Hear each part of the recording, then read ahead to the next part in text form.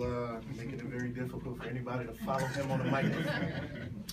Uh, good morning, ladies and gentlemen. It is indeed a privilege, an honor, and a pleasure uh, to be here in the great county of Duval this morning representing the other 99 chapters of the 5,000 role models in Miami, as well as the other 22 chapters in Pinellas County, um, to welcome the uh, Duval County branch uh, starting with their 10 chapters that will be starting on behalf of my mother, Congresswoman Frederica Wilson. Um, I bring you greetings this morning from her.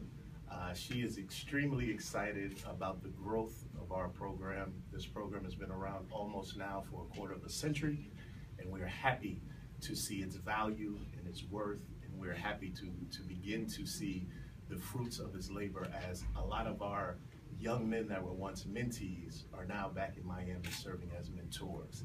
And that is the whole point, full circle, coming back to the community that supported you. I'm flabbergasted by the turnout this morning. Mr. Roziers, you didn't tell me that it would be uh, quite a turnout like this. I'm extremely happy to see individuals from the military as well as law enforcement, especially with uh, the rash of incidents that we have been experiencing all across the country in regards to police, police and youth relationships. And it's very important, vitally important. Law enforcement plays a huge role in what we do in Miami.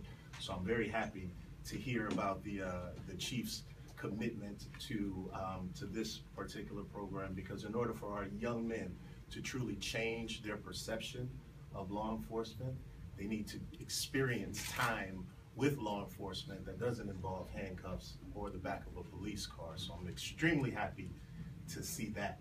And um, I want to say hello, a special hello to uh, Tony Hill, who has been a friend of the Role Models program since its inception, sir. Fantastic to see you. Happy to see you here.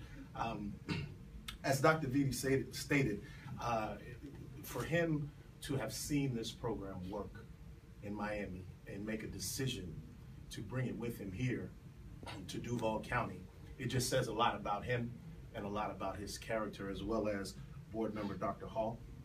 She came down and, and visited with us and she was immersed in the program as well. So I'm extremely happy and proud of the principals that are here this morning that are committed to changing the lives of the students that they serve one child at a time. Frederick Douglass always said that it is much easier to build strong children than it is to repair broken men.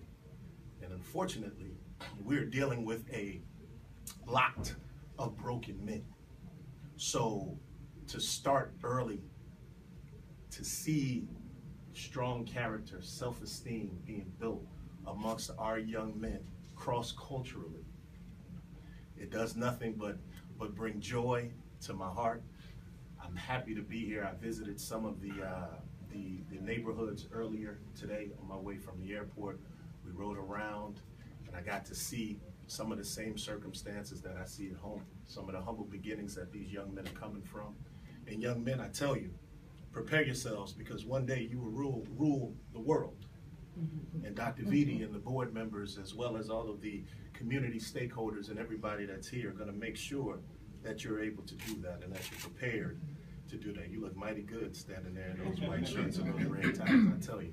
So um, I'm not going to take up a whole lot of your time. I am just in awe, and I'm extremely happy to see the turnout, the support of the program, and I look forward to my next visit when I when I actually see these young men serving as ambassadors at events across uh, the county. So on behalf of Miami-Dade County, as well as Congresswoman Frederica Wilson, thank you very much for embracing the 5,000 role models here in Duval County.